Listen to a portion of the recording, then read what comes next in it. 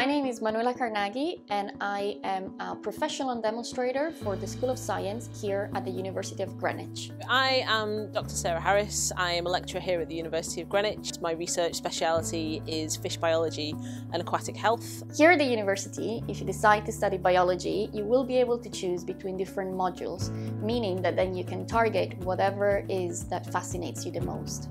During my undergrad, I did my final year project on plants. Then for my master, I went on and studied slugs and I used parasites in a way to control the slugs.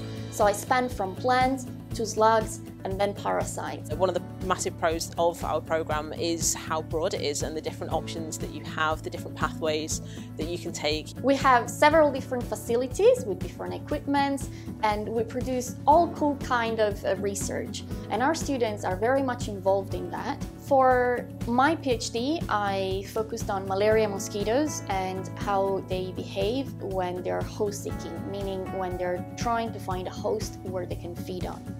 So one of the projects that we're working on here at Greenwich um, as part of a grant awarded to Dr Joanna Meast is the use of oysters as sentinel organisms within aquaculture. So using oysters as an alternative organism to detect pathogens rather than taking from the fish themselves. We also have a variety of societies, so the social aspect of living here at the university is also quite important. These societies span from fun activities like climbing, for example, to academic activities. So, for example, uh, gathering um, with students that are interested on a particular topic. For example, we have the Paramedic Society and the Cancer Society where students talk about uh, their interest in there. So it creates a nice sense of community.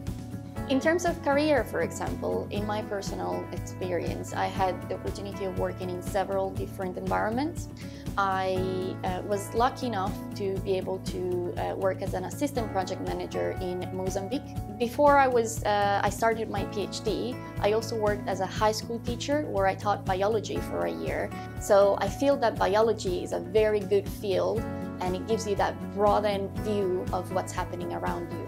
Like, well, you've heard today uh, some of the various aspects of the biology program um, about the research that we have, uh, the teaching that we do. You know, there is a very wide range of careers that you can you can go into uh, from a biology degree to research, um, into the civil service, into um, any kind of thing really that um, you know requires that kind of analytical way of thinking that you will acquire through a biology degree. I hope you found this interesting and that this has opened your eyes on the different possibilities that biology can offer.